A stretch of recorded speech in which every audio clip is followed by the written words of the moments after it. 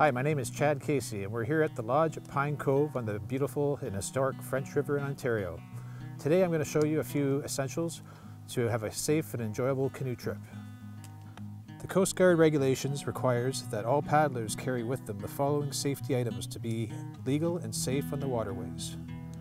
First, every paddle craft is required to have one approved personal flotation device or life jacket of appropriate size for each person on board. Second, every paddle craft must have one sound signaling device. Provided it's pealess, a simple whistle fulfills this requirement. Attach yours to your PFD so it's always with you.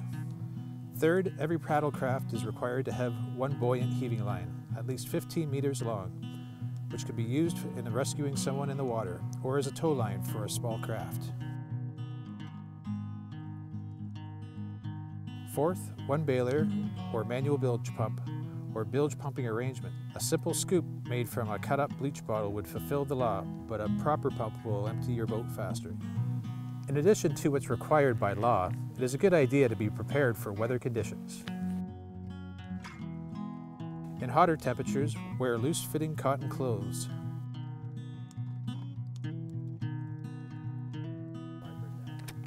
A wide-brimmed hat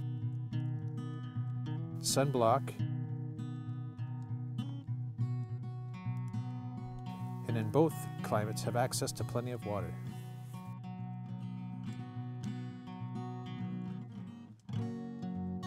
Another good idea is to leave a trip plan with somebody so that they'll come and look for you if you don't return on time. For paddlers headed out on trip, be sure to bring a map and compass for navigation.